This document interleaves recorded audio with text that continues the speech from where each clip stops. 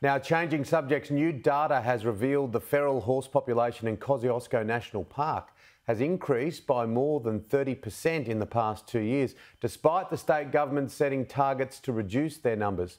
The New South Wales National Parks and Wildlife Services say it estimates nearly 19,000 brumbies remain in the park.